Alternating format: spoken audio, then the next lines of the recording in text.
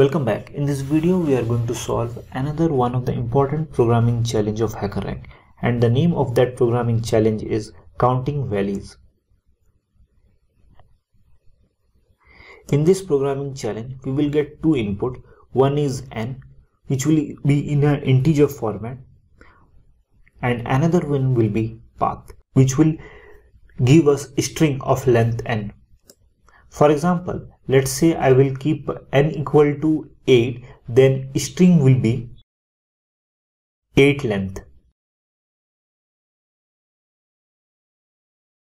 Now let's try to understand this programming challenge. Here one traveler traveled from source to destination. During his travel, traveler he traveled multiple valleys. Now our job is to find the number of valleys he traveled. Here you can see that that path is given in either D or U. D means the traveler traveled in downward direction and U means traveler traveled in upward direction. Now we have to count that how many number of valleys traveler traveled before he reached his end of the destination. Let's give a pictorial representation to understand this logical pro problem. Here we can see that traveler traveled two times downward and four times upward.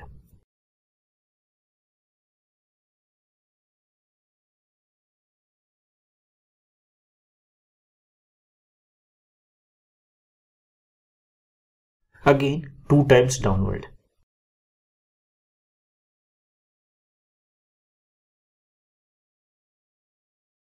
Now here you can see that the traveler traveled only one valley.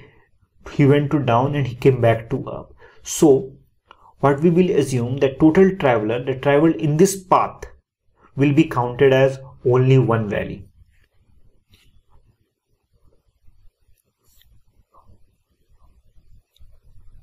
So total number of valley that he traveled is one. And the limitations programming logical problem is that that strings of path or steps you can say it will be between 2 to 10 to the power 6 and the one more important thing there is only two alphabet will be used in this path. D and u. D means downward and u means upward.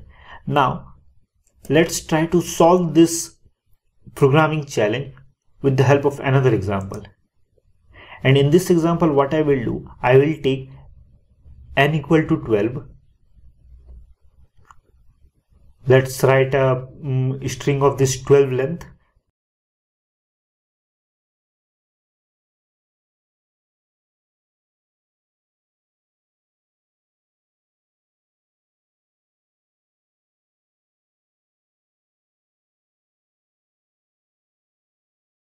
before writing this problem uh, programmatically i programmatically let's give a pictorial representation first so that it will be easy for us to understand this uh, problem and to calculate that our answer is correct or not.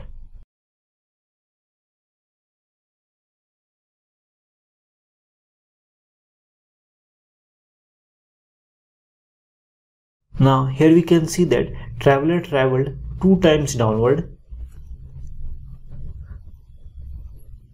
two times upward. After that two times downward again.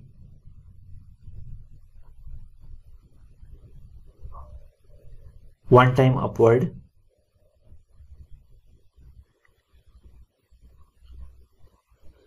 Downward again.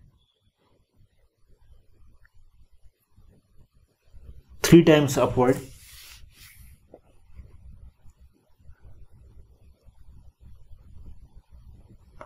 downward again to reach its end of destination. Now, to understand this problem programmatically, what I will do, I will indicate downward as minus 1 and upward as plus 1.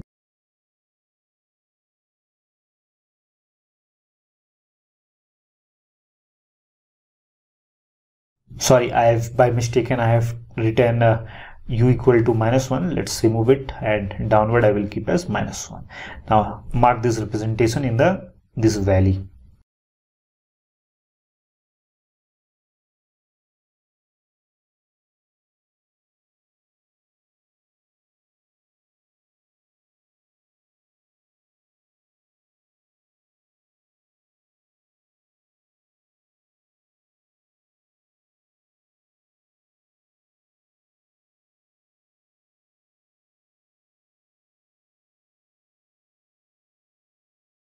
let's create a table of these 12 steps.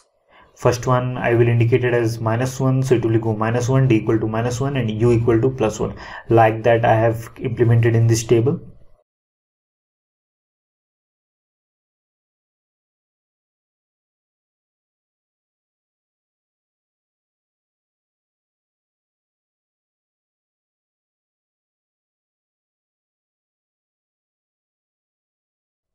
Now, after that what I am going to do, I am going to iterate the total values of the 12 steps. For example, he started from the step 0, right? From the surface he started.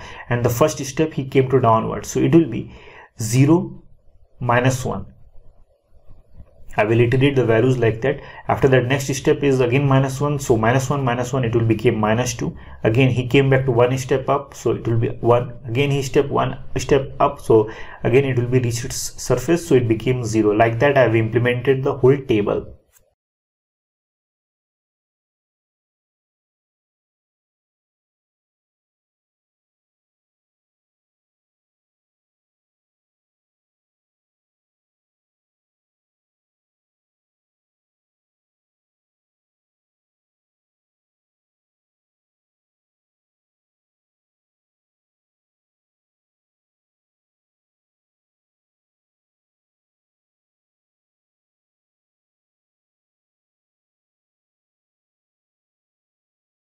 Now the whole chart is created and here I found out the most important thing is that whenever a traveler is reaching to the surface it is the value of this chart table is indicated as 0. For example, step number 4, it is indicated as 0 because the traveler reached to its surface. Again, step number 10, he reached to the surface, indicated as 0. And step number 12, again we can see that reached to its indicated as 0 so every time whenever a traveler is reaching the surface it will be indicated as surface.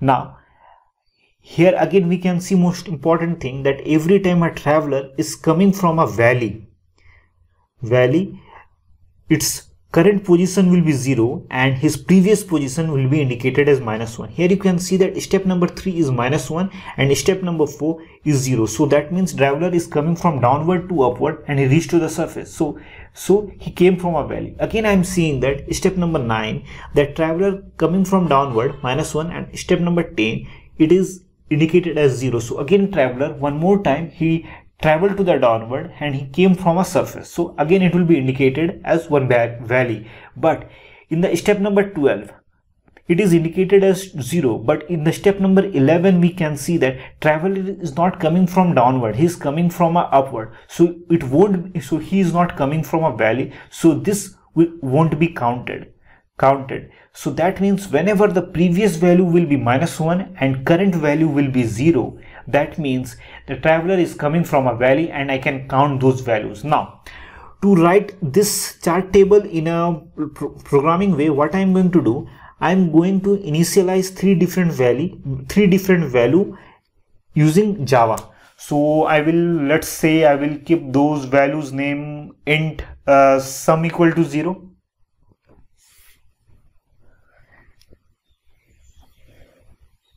Another one let's say previous i need to notify right? So int previous equal to 0 another one i have to count the value number. So int count equal to 0 now i will try to create now will try to create uh, this chart okay? So because through that chart only i'm going to count number of values the traveler traveled. So I'm, for that i'm going to use for loop to iterate that one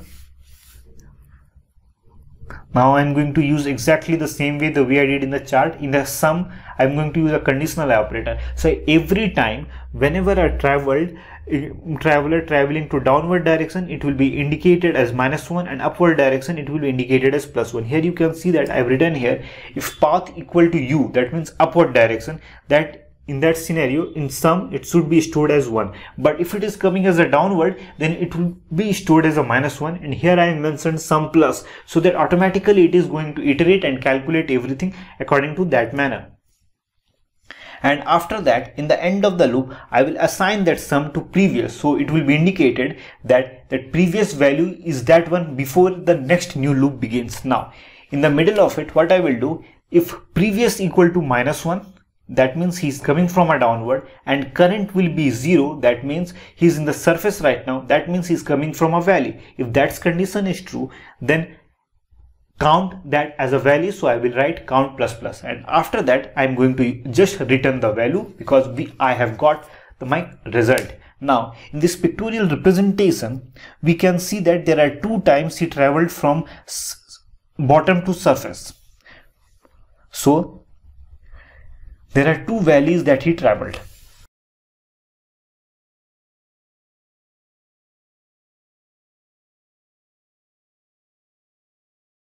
Now let's try to solve in HackerRank to see that uh, we have written correct correct code or not.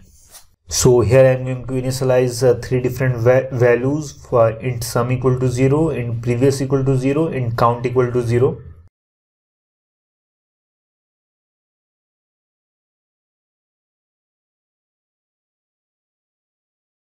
Now let's create the chart table which I have represented in the diagram uh, with the help of a for loop. Here count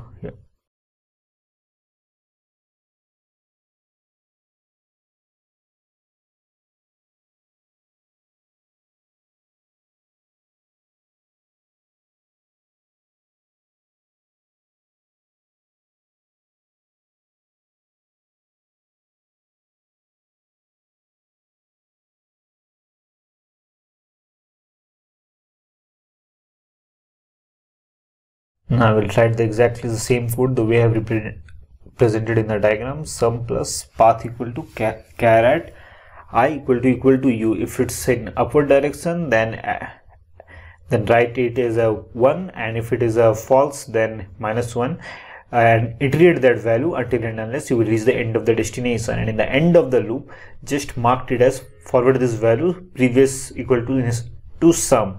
So that in the new loop this value will be indicated as previous.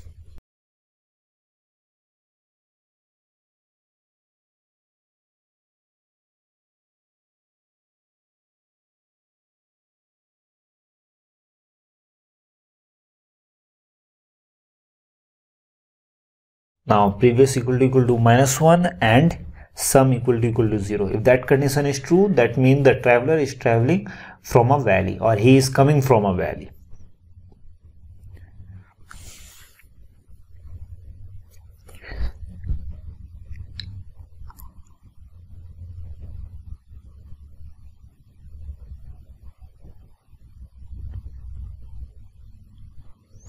Now let's just run the code to see that I have written the correct logic or not.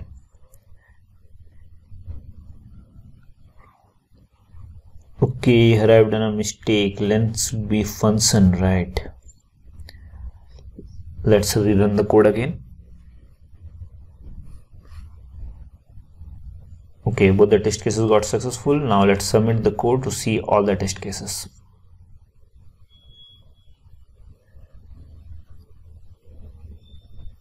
okay all the test cases uh, successful. The logic that we have written is perfectly correct.